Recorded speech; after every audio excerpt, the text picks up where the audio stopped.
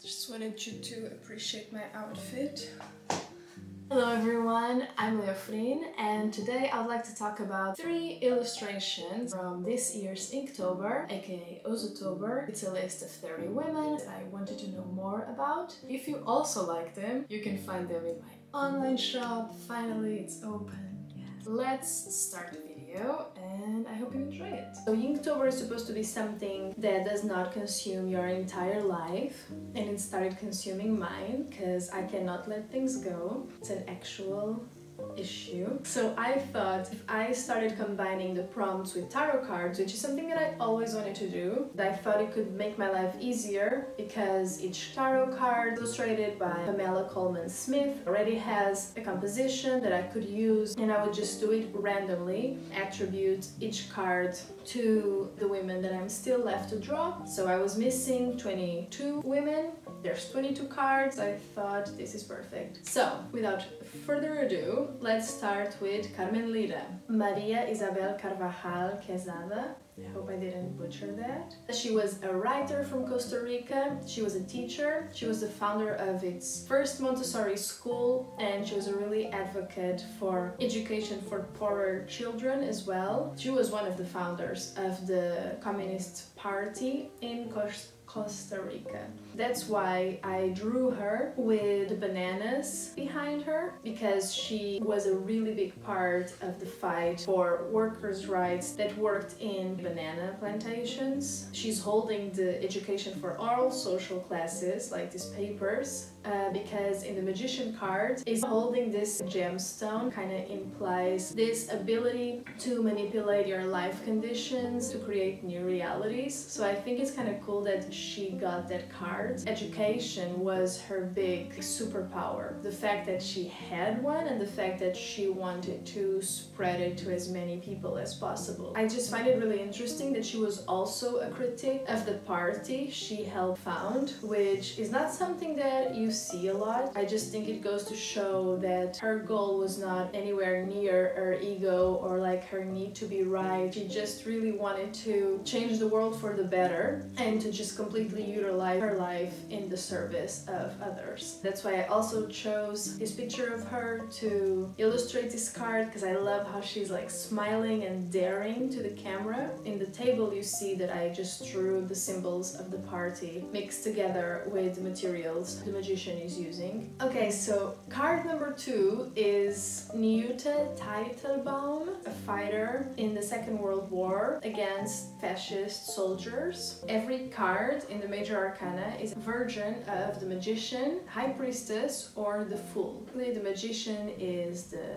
conscious and is more like a masculine archetype. The high priestess symbolizes female archetypes, the subconscious mind. She has this like sea elements to her, there's the moon, the veil behind her, and she's in, in between these two pillars, black and white, with the idea of standing in the center of the absolute no, standing your ground and reject, rejecting any kind of change and openness, and, and then the yes, absolutely open to every possibility, the affirmation, you standing in the center of the of both of these realities. I thought it was really interesting. And in the tarot card, she's all holding the Torah facing her because she finds her own way within her religion. I thought that was also very interesting because the character that ended up being with her, Niuta Teitelbaum, she risked her life countless times. She was tortured and she helped so many people. You have to be so brave, you have to be so certain of your own path to do what she did, like on a regular basis. This narrative that women are not able to fight, they were just staying at home crying for their husbands during the war, is just not true. And then I have the eye in the throat because of the throat chakra and how much control she had over her voice because she had a lot of situations where she was a little bit like a spy that she had to pretend she was somebody else. And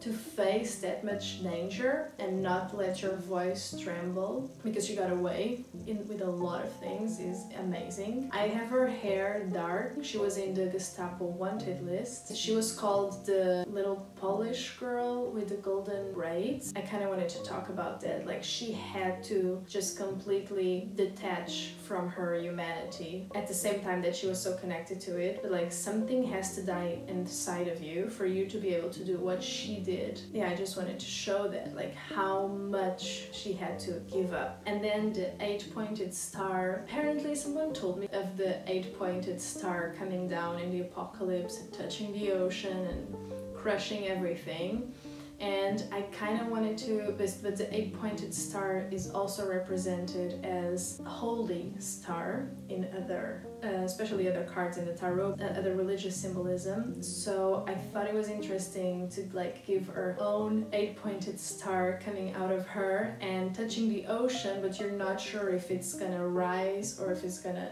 dive into the ocean. And it's this balance between absolute destruction and heaven. This is Niuta Teitelbaum. Read about the Jewish women who resisted the Second World War. It's absolutely fascinating what, what these women did. So the third woman is Simone Veil. She was an Holocaust survivor. She was the first woman to be president of the European Parliament and she's most known for the law of abortion in France. I, she got the cards number three, which is the Empress. And I'm gonna read you a little bit about her. It's about pleasure, it's ruled by Venus. You're gonna see that each card has a Hebrew letter attached to it. And this one, I saw it meant door. And I really like this idea. Basically, it's like door to creativity, to life. Like the Empress, some people say that she's pregnant. So it's just like act of creation in absolute pleasure, like open to everything. Because she was such a big advocate for women's rights, I thought this card was also perfect for her, like by chance. I love when this happens. Also have like a